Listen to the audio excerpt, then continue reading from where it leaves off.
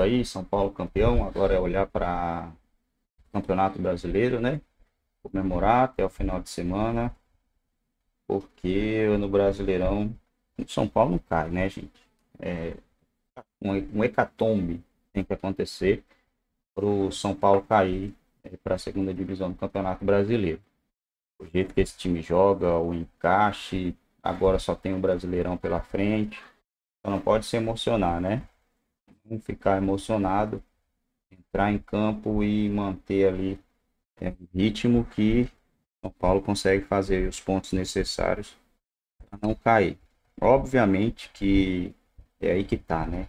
O time não vai fazer tanta força, né? Pelo menos é, vai precisar fazer 45 pontos.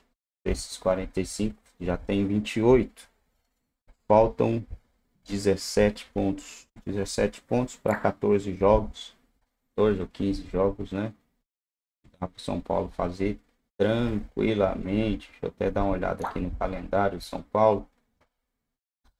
Bom, dois jogos aqui já de cara, já dá para cravar aí umas duas vitórias. Coritiba em casa, Corinthians em casa. Aí tem o Vasco fora, Goiás fora. Grêmio em casa já dá para mais três pontos. Vai ter o Cruzeiro depois. Vamos ver quantos jogos em casa aí. Tem o Flamengo em casa, também lá na última rodada. Cuiabá 3, 6. digamos que São Paulo ganhe, né? 3, 6, 9 contra o Cruzeiro, 9, 12, 15, 18. Tem 18 pontos em jogo, jogando dentro do Morumbi. São Paulo faz desses 18, 13 e mais alguns em casa, e mais alguns pontinhos fora aí. E querendo ou não, vai fazer alguns pontos fora, né? Já dá para gravar aí ó, a sua vaga no Campeonato Brasileiro para o ano que vem. Já vai estar na fase de grupo da Libertadores, não vai ter que se preocupar muito com isso.